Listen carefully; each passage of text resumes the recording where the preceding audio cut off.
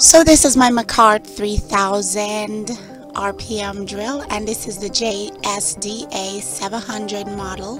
This is one of the cuticle cleaning bits that came with said drill and I told everyone that I was going to give them a you know heads up on how this drill is performing so